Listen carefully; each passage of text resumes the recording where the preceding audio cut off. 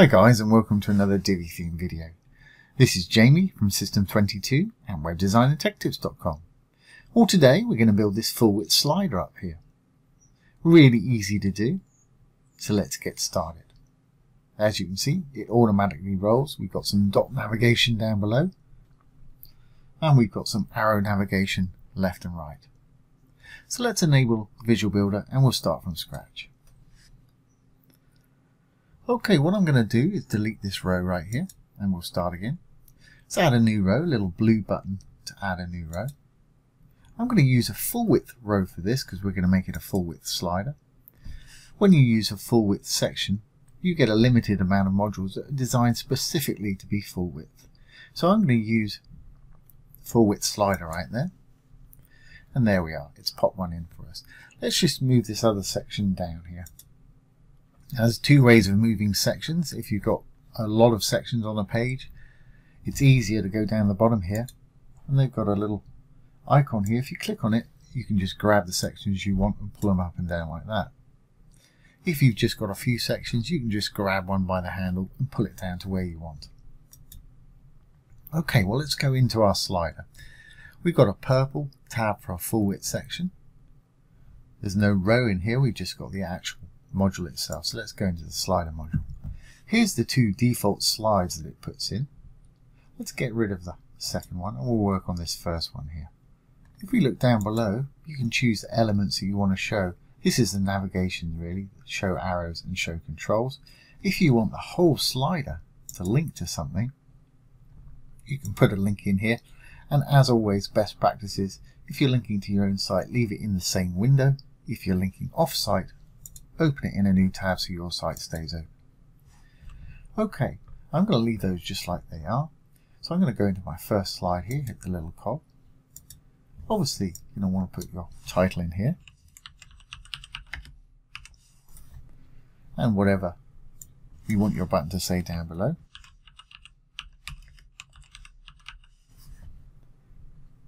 And your content right here.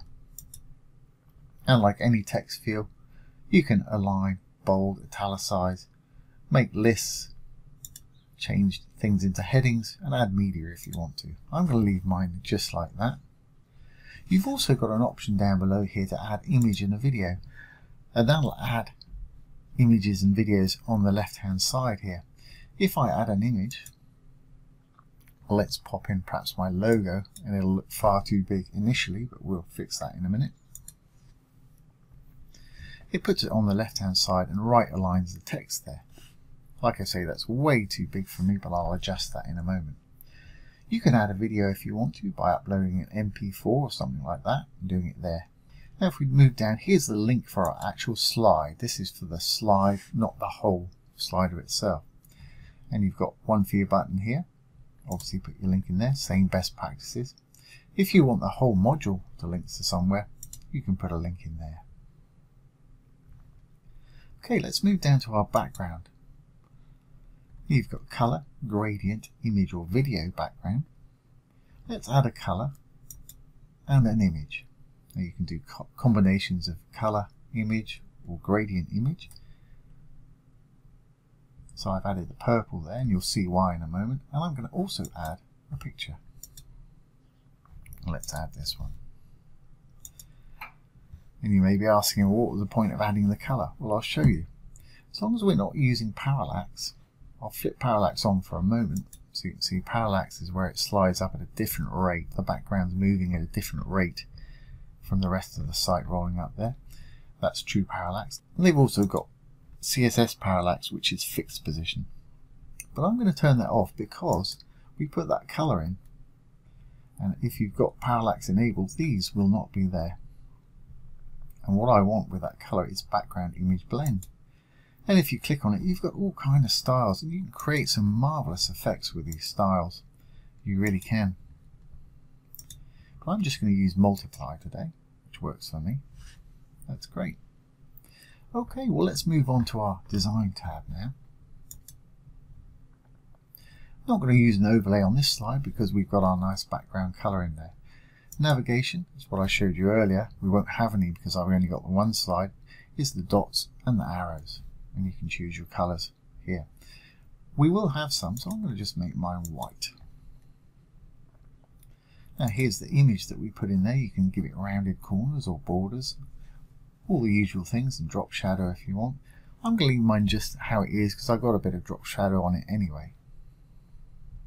And if we roll down, of course you can style your text any way you wish, just like any other text module. And you can style the title and the body text separately. Divi, as usual, comes with a crazy amount of fonts. If you want to audition a particular font, just roll over it and it'll show you an example. I'm going to leave mine on default, but let's capitalize it. And let's bring it up a bit. And let's also perhaps make it a bit bolder, say semi-bold. There we go, that's fine. Rolling on down, you can do your body, text and of course you can customize your button how you wish by using the customize styles in the button here. So let's make everything white and let's perhaps give it a blue background. Now you can do the border the same way. I'm actually going to take my border away. Just grab it, take it down to zero if you want no border. And of course you can set a hover color by going up over the dark legending of the element you want to affect. If there's an arrow, Desktop's when your mouse is not on it. Hover obviously is when your mouse is on it. Make that purple when the mouse is on it. Well, in fact, let's make it red. It'll stand out better. So there we go. I'm fairly happy with that first slide. So I'm going to save it. it takes us back to the main width slider settings. Let's either add a new slide or I'm going to clone this one. Actually, I was going to shrink down that, wasn't I? So let's go back in there quickly. Go to design. I'm going to go down to sizing content width. I'm going to pull this down so that shrinks down a little bit. It's pulling everything in. So I've got something like that. That works for me. Okay, let's go back and create a new slide. I'm just going to clone this one. And let's work on our second one, just so we know which one it is. Let's say slide 2. I won't change the text or the button or anything like that. But let's take that image away. We'll go down to the background, we'll take the colour away and let's put a different image in there.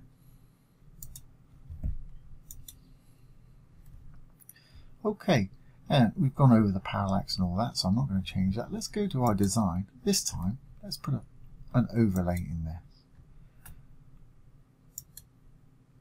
And as you can see, that's darkened it down. You can change whatever colour you want here. And you can actually put an overlay around the text if you've got a busy picture and your text is getting lost in there. Hit Use Text Overlay. And there it is right there. And again, you can choose whatever colour you want. So if I make it black, you can go in there. You can pull the opacity down with this slider here to see some of the image through and still be able to read the text.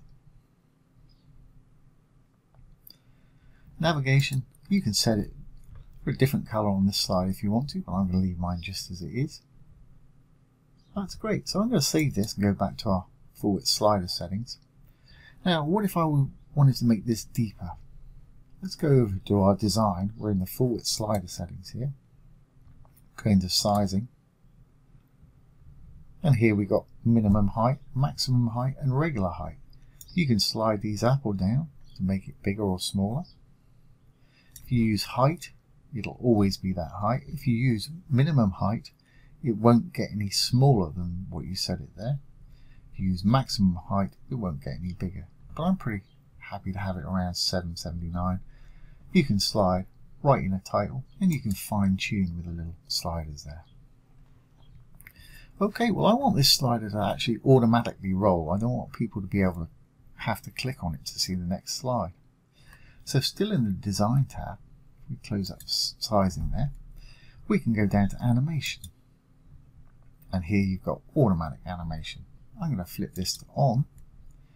It's going to roll around every seven seconds there. A bit slow for me. I'm going to change mine to four seconds, which would be 4,000 milliseconds. And it's set to continue automatic slide on hover here. If your mouse is on it, it's going to stop sliding to the next slide when that is switched off if you turn it on, it's going to continue rolling around when they put their mouse on it. I like to leave that to off because if there's some information here people can put their mouse on it, it'll pause it so they can read it or click the call to action button. That's entirely up to you.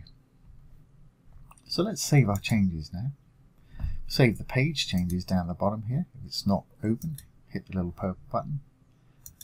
Save changes. And let's exit the Visual Builder. Make sure this is going to work on the front end. There we go. There's our first slide. Four seconds later, it should pop into our next slide.